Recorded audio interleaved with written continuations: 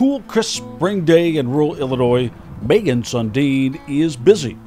Inspired by her father, who was orphaned as a child, but found a family and so much more. He said that when he was adopted on the orphan train, the first thing his parents bought him was a pony and that that saved his life. So I kept trying to think, how could a pony save his life? because we had so many horses that um, my dad had to sell a horse so I could have a pair of shoes. His life and hers would always revolve around horses and finding a way to give back. Was there a special moment that made you say, I have to do something? Yes. When my father died in 2010, our family dynamics changed drastically and we didn't understand what was going on. And I figured I'm a teacher at heart, I'm a certified teacher, so I thought I need to do something with horses that doesn't involve horseback riding. When you see that moment when, when a horse is helping a veteran, you see that connection. I know you're watching for it. What does that mean to you personally? It's very humbling. Um, it's interesting. Uh, there's, it behaves differently for every single person that comes through here. So some of the behaviors become very unique and stick out. And when we see that pattern, then that's when we really start to pay attention. There's something unique going on. Megan has more than 6,000 hours of training. She wants to be clear while we're about to show you an overview of her equine assisted services, it is much more complex and needs to be left to the pros. Horses survived in the wild with their innate ability to read their environment, respond to nonverbal body language, this horse has not been trained for therapy, but reacts naturally to a veteran dealing with PTSD. Doc agreed to let us watch a session. Hello there, sir. How are you? Good. Good to see you again. Good to see you. I'll Good take a hug. Hey, How nice are to you? meet you. Nice I'll see take a you. hug. Thank you for your service, sir. Thank you for your support. So I was a combat medic with the 1st Infantry Division. Um, we were for the uh, first part of the uh, Iraq War. Um, I was a straight just infantry medic, so on the line with the guys So you saw a lot of stuff. quite a bit. Um, I had four tours, uh, mostly in Baghdad and uh, Tikrit, Mosul, uh, Ramadi, a couple of the uh, couple of the good hot spots. You come home, you can't help but bring some of that home with you, huh? Yeah, it was. Uh, I had a long career, um, ten years and uh, two Purple Hearts, and just a lifetime of memories.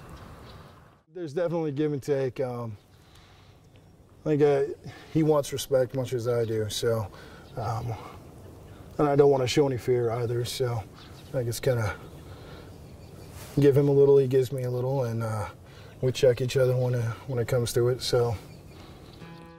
The equine therapy session begins. We're going to start off with just giving you an opportunity to, to connect, reconnect, and meet and greet. And Doc and Megan invite me in. Again, for his privacy and hers, and the trust they have, we'll only show you a little of what happens here. what did you think about your experience?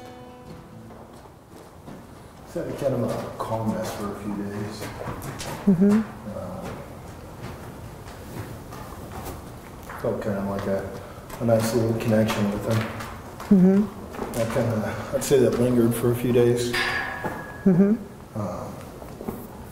I mean, I, I thought about it a lot that, that night when I went home, but it definitely, uh, definitely lasted for a few days, and I kind of missed him. So. So you would have wanted to come back again Oh then, yeah. quickly? Probably been back the next day. more frequently. Mhm. I gave you a challenge of what you thought was uh, your challenge to get over. And, and so that activity can then lead itself to other things. So based off of this week, She asks him questions and uses his answers to give him new tasks to try. And what were your thoughts when you were on your way here? Uh, Let's see how he's going to react to me today. Mm-hmm. Okay? Seems a little bit more easygoing today. Well, Okay. Quite a bit of pain there, so. All right. might be why. I know you mentioned last week you thought that he picks up on that, that you were in pain. Watching for unique behavior, actions, and reactions from both of them. So now this is the first time he's ever led him. And last week it was the first time he ever seen a horse. I noticed when uh, you took the lead rope and you started walking over there, he started making noises at you. Yeah, What'd you think about that? I doesn't want to be locked up. A free spirit. I don't think he likes being, being leashed up very much. Mm-hmm. He's a big guy. Is that something that you can relate to? Yeah, I mean, definitely want to be on my own with, uh, with some things. I I have a little mutual respect with him. An activity that I would like you to do is to go and, and take them into any part of the arena that you feel comfortable. And I want you to stand in front of him and hold on to his halter and put your chest against his head. And I want you to get in rhythm with his breathing. So close your eyes and find that rhythm. Two powerful and independent personalities trying to find a rhythm, trying to make a connection while commanding respect from each other. So you can see the horse isn't settling in yet. Once they connect, then they will have that, that connection.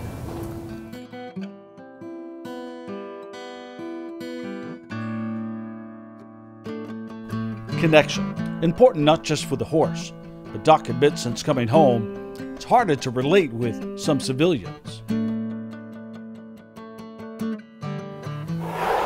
People worry about, you know, being in line too long at Starbucks and, you know, we waited 56 hours on combat missions, so. Just little things like that. In a surprise move, I'm about to become part of the therapy. Will he trust me, a civilian, to lead him blindfolded through this obstacle course? What you're going to do is take him by the halter, and you are going to listen to Gary's directions to get through. You're going to get through the communication. You're going to get over the empathy, and you got to get around the presence. Perfect. Come a little bit to your left and come through the cones right here. Follow my voice. And you did it. Complete all the way through and back. Nicely done. Nicely done. That was cool. Awesome, man. That was awesome. Okay, what was that? Tell me what that was like. That was different.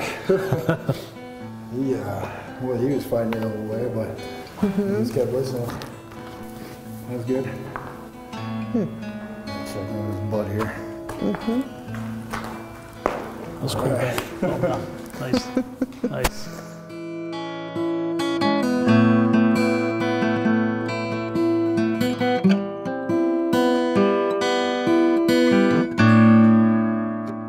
You're, you were talking about a slogan in there. Can you tell me about that? Um, So a, a slogan that I've always had is uh, never above, never below, always beside. Um, with, with veterans, you never want to never want to be above somebody, and uh, if, with a mutual respect, you're never below them. Um, you always want to be beside them, walking beside them, sh- uh, showing them support. So um, it's something I've always tried to live by. Not I'm not any better than any veteran, and uh, you know, um, any awards or anything I have or what I've done in the military, it's everybody has their job, everybody does their thing, and uh, I don't I don't feel that I'm any better than anybody. So um, when veterans or anybody needs help, I, I try and show them that respect. Is getting this kind of help for you going to help you to help more vets? I, I hope so. Um, there's a lot of guys that, that won't seek help, that won't go to therapy simply because they're they're worried it's going to be talking to somebody that doesn't understand them or uh, somebody to, trying to push pills on them. Um, you don't have to talk to him, and he's not going to shove pills down your throat. And uh, you know, there's something to be said about getting in in the ring with somebody that's 1,600 pounds. I mean, he's got a little bit of weight on me, so kind of helps you overcome some fears too. Yeah, he's not going to take any crap from you. Yeah, exactly. so I think that I think that helps, and you know, uh, maybe maybe some other guys or gals would be able to benefit from that as well. Well, thank you for your service then and, and now, man. Appreciate All it. thank you. It's awesome. Thank you.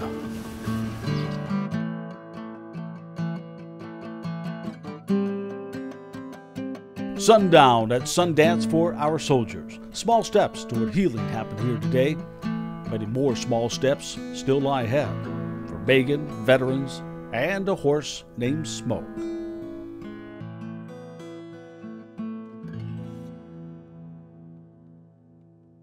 Find out more at sundanceforsoldiers.org. If you like inspiring stories just like this, check out our YouTube channel, Gary Metivier, for more, and the Heart of the Story with Gary Metivier podcast.